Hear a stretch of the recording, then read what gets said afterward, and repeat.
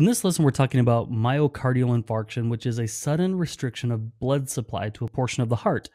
This causes ischemia and death to muscle tissue. Let's go into this in a little bit more, t- more detail.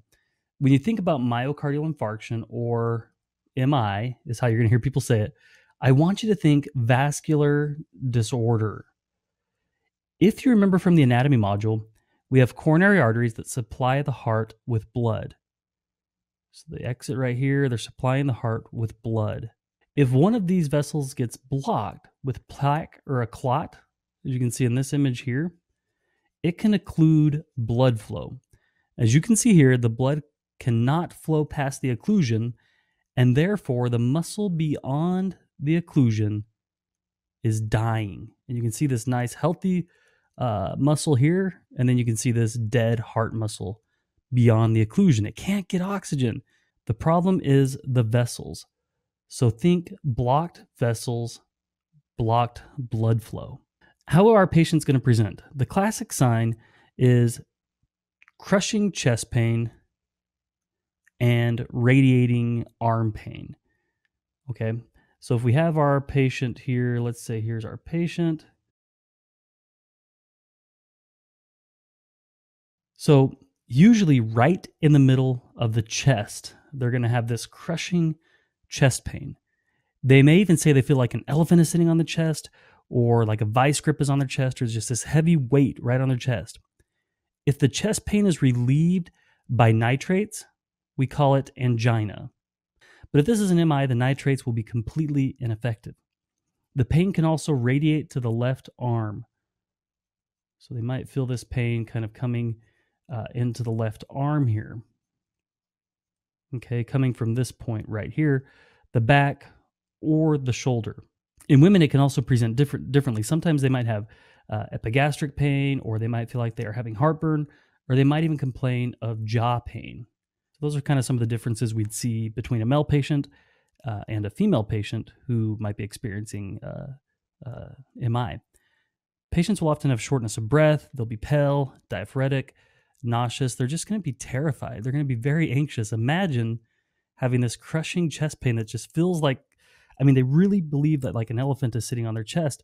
And so they're starting to experience all this uh, nauseous, this anxiety, this diaphoretic. They're going to be pale and, and they're going to be very short of breath. Many times they're going to uh, have palpitations as well. And it's important to note that uh, the pain shouldn't be sharp. It shouldn't get worse with breathing or be related to eating at all. When your patient presents with these symptoms, do a thorough pain assessment. Get a set of vital signs, listen to heart sounds, and call the provider. So, assess for pain, get a set of vital signs, listen to heart sounds, and call the healthcare provider. You need to do this all immediately. Okay.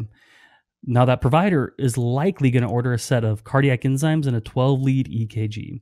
So they're probably going to order cardiac enzymes, which we'll talk about in a second, and a 12 lead EKG, and they'll probably order some meds, which we will also talk about uh, in a second. So, first of all, there's a couple different kinds of MI. Okay. There's two types. You have an ST elevation MI or STEMI, and you have a non ST elevation MI or N NSTEMI. Both are going to have the crushing chest pain. Both are going to present with elevated cardiac enzymes. ST elevation and what you're going to see on the EKG, we're going to look over one here in just a minute, uh, is going to be very specific to where the damage is in the heart. So having this ST elevation will actually show us what's happening in the heart and what's going on. Now, a STEMI indicates complete occlusion of the coronary artery and requires immediate intervention, okay? This is an emergency. This requires immediate intervention. Now, the intervention is either going to be thrombolytics or surgical intervention. Most of the time, these patients will be in the cath lab within just uh, 60 minutes of arriving at the hospital. That's really the goal. Um, and they're going to go for angioplasty and possible stenting. Now, with the non ST elevation MI, they don't have the uh, ST elevation in their EKG. So it's very non specific changes. Uh, they might even experience ST depression or uh, uh T wave inversion. So these patients need pharmacologic therapy. Uh, and some of those pharmacologic therapies we might provide for them would be nitrates, beta blockers, etc.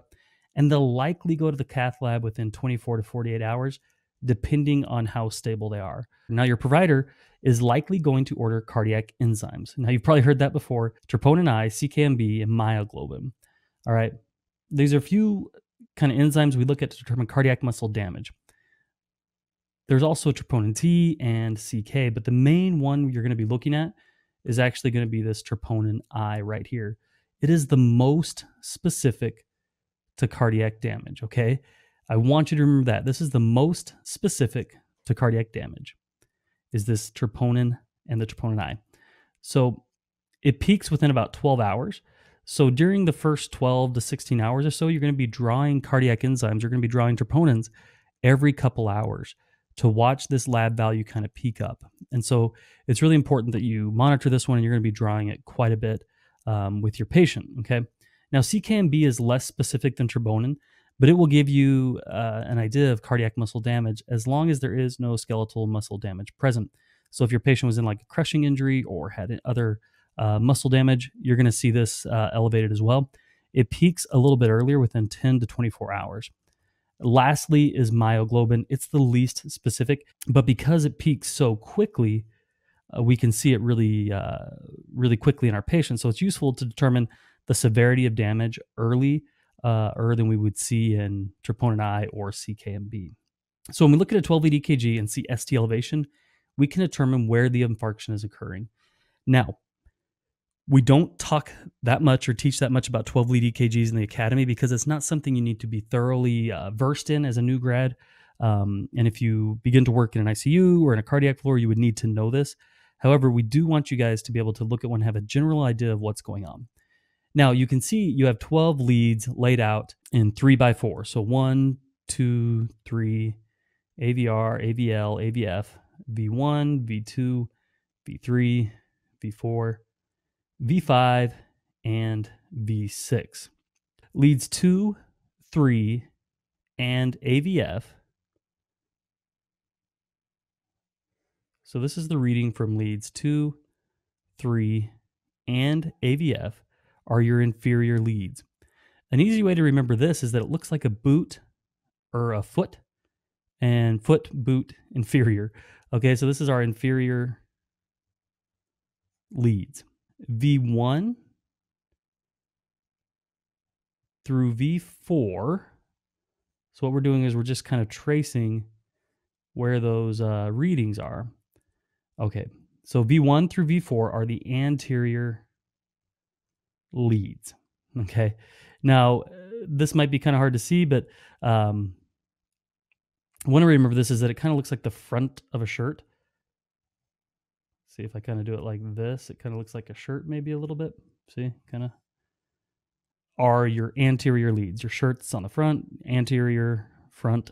AVR doesn't give us anything uh, specific enough for our reading, so we kind of just cross it out and we don't really uh, worry about it. Then the ones we have left over are 1, AVL, V5, and V6.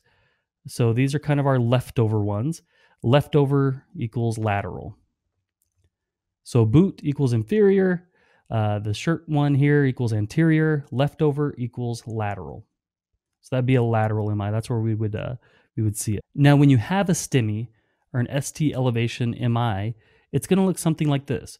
You'll notice you have ST elevation in leads 2, 3, and AVF.